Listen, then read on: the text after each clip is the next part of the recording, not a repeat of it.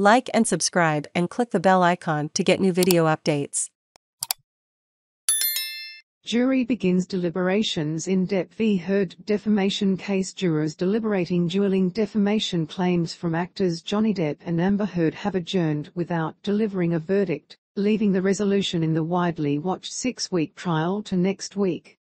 Depp, the 58-year-old Pirates of the Caribbean star, sued ex-wife Heard in Virginia for 50 million US dollars, arguing she defamed him when she called herself a public figure representing domestic abuse in an opinion piece she wrote for The Washington Post.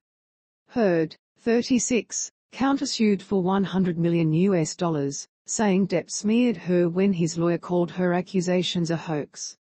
The seven-person jury deliberated for more than two hours on Friday and will resume discussions on Tuesday after the U.S. Memorial Day holiday. Depp has denied hitting Heard or any woman and said she was the one who turned violent in their relationship. Mr. Depp experienced persistent verbal, physical and emotional abuse by Ms. Heard, attorney Camille Vasquez said in closing arguments on Friday. She said Heard's allegations of abuse by Depp, including a sexual assault with a liquor bottle, were wild, over the top and implausible, and had ruined his reputation in Hollywood and among fans. We ask you to give Mr. Depp his life back by telling the world Mr. Depp is not the abuser Ms. Heard says he is, Vasquez said. Heard lawyer Benjamin Rottenborn, in his closing argument, reminded jurors of explicit text messages from Depp to friends or associates.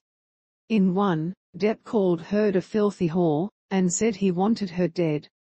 This is a window into the heart and mind of America's favorite pirate, Rottenborn said.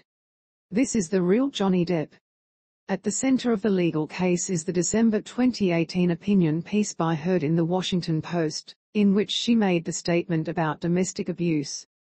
The article never mentioned Depp by name, but his lawyer told jurors it was clear that Heard was referring to him. Heard's attorneys argued she had told the truth and her comments were covered as free speech under the U.S. Constitution's First Amendment.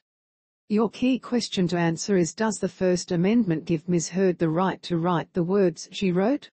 Rottenborn said to the jury. You cannot simultaneously uphold the First Amendment and find in favor of Johnny Depp. Depp and Heard met in 2011 while filming The Rum Diary and wed in February 2015. Their divorce was finalized about two years later. Over six weeks of proceedings, Jurors have listened to recordings of the former couple's fights and seen graphic photos of Depp's bloody finger. Depp said Heard threw a vodka bottle that cut off the top of his finger during an argument in 2015. Heard denied injuring Depp's finger and said the actor sexually assaulted her that night with a liquor bottle. The testimony was live-streamed widely on social media, drawing large audiences to hear details about the couple's troubled relationship. Once among Hollywood's biggest stars, Depp said Heard's allegations cost him everything a new Pirates movie was put on hold, and he was replaced in the Fantastic Beasts film franchise, a Harry Potter spin-off. Depp lost a libel case less than two years ago against The Sun, a British tabloid that labelled him a wife-beater. A London High Court judge ruled he had repeatedly assaulted Heard. Depp's lawyers filed the U.S. case in Fairfax County, Virginia, because the Washington Post is printed there. The newspaper is not a defendant.